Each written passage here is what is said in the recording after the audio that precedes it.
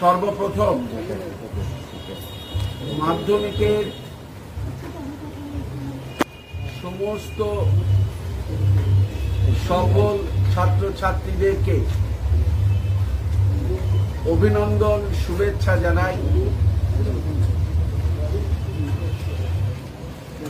এবং যারা অসফল হলেন এবার, তাদেরও অগ্রিম শুভেচ্ছা জানিয়ে রাখছি। তারাও নিঃসন্দেহে জীবনের সবচেয়ে বড় পরীক্ষায় পরবর্তী সময় কৃতকার্য নিশ্চয়ই হবে। আশাহত হওয়ার কোনো কারণ নেই। আজকে সকাল থেকেই বহু ফোন আমার কাছে এসছে, আমিও বহু ফোন করেছি। গতকাল মুখ্যমন্ত্রী নিজে ঘোষণা করেছিলেন যে মাধ্যমিকের এবং উচ্চ মাধ্যমিকের ফলাফল ঘোষণা করা হবে।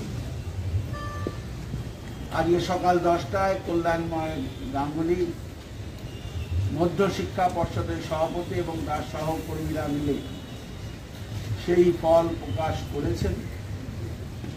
আমি ইতিমধ্যেই যারা মেধা তালিকায় স্থান পেয়েছেন, তাদেরকে ফোন করেছিলাম। পাল সায়ন্তন গড়াই অভিক দাস, সৌম্য পাঠক, দেবস্মিতা মহাপাত্র পবিত্র মাইতি যাদের ফোনে পাওয়া গেছে বা তাদের অভিভাবক, মূলত তাদের মা কিংবা বাবা ফোনে ছিলেন এবং ফোন ধরিয়ে দিয়েছেন।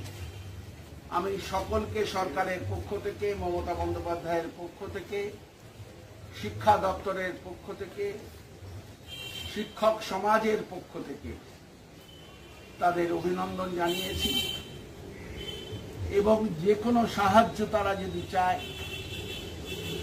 ভবিষ্যতের উড়ানে, শিক্ষার উড়ানে আমরা তাদের পাশে থাকব এবং সব রকম সাহায্য তাদের দেব। সেই সঙ্গে সঙ্গে তাদের বলেছি, এই করোনার অতি মহামারীর সংকটে তারা যেন সুস্থ থাকেন, তারা যেন স্বাস্থ্যবিধি মেনে চলেন, উচ্ছ্বাস প্রকাশ করতে গিয়ে যেন সেইগুলো ব্যতিক্রম না হয়। উচ্চ মাধ্যমিকেরও সতেরো তারিখের ফল প্রকাশের কথা আমরা তাই জানিয়েছি। উচ্চ মাধ্যমিক পর্ষদের সভানেত্রী ডক্টর মহুয়া দাস, তিনিও জানিয়েছেন সাড়ে তিনটের সময় উচ্চ মাধ্যমিকের ফল প্রকাশ করা হবে। আমি দুটো বিষয়ে আপনাদের কাছে আপনাদের মাধ্যমে সমস্ত অভিভাবকদের, ছাত্রছাত্রীদের কাছে পুনরায় ব্যক্ত করতে চাই। শিক্ষা দপ্তর এবং রাজ্য সরকার মমতা বন্দ্যোপাধ্যায়ের নেতৃত্বে তাদের পাশে আছে। আমাদের যে মোটামুটি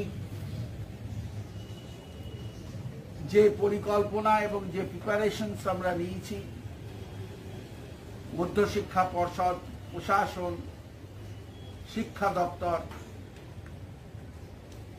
সমস্ত অশিক্ষক কর্মচারীরা, শিক্ষকেরা এবং এর সঙ্গে যুক্ত যারা, তাদেরকে যুক্ত করে স্বাস্থ্যবিধি মেনে দূরত্ব বজায় রেখে আমরা আজকে যেমন তারা অনলাইনে বা এস এম এস এর মাধ্যমে তাদের ফলাফল দেখতে পাচ্ছেন। বাইশ এবং তেইশ তারিখে মাসের জুলাইয়ে আমরা ক্যাম্প করবার কথা মধ্য শিক্ষা পর্ষদ বলেছে। আমরা শুধু শিক্ষা দপ্তর থেকে তার তদারকিও করব ওদের সাথে। এবং সেই ক্যাম্পগুলোতে যেখানে যেখানে হবে, তাকে সম্পূর্ণ স্যানিটাইজ করা, সম্পূর্ণ স্বাস্থ্যবিধি মেনে চলা, এবং সেখান থেকেই স্কুলগুলিকে তাদের প্রতিনিধিদের হাতে দিয়ে দেওয়া হবে মার্কশিটগুলো। একশো থেকে আশি থেকে একশো জন ছাত্র বা একটু বেশি কোথাও কোথাও। প্রতিটি স্কুলে আছে। আমরা দু দফায় স্বাস্থ্যবিধি মেনে তাদেরকে বলেছি, অভিভাবকদের কাছে অ্যাডমিট কার্ড দেখে, প্রামাণ্যতা দেখে তাদের হাতে মার্কশিট তুলে দিলেন যেরকম ভাবে আমরা মিড ডে মিল বা অন্যান্য ত্রাণ সামগ্রী।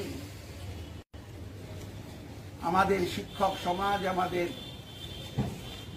শিক্ষা কর্মীরা, অভিভাবকেরা যেভাবে সাহায্য করে স্বাস্থ্যবিধি মেনে করেছেন, ঠিক একইভাবে সেটা করার বন্দোবস্ত আছে।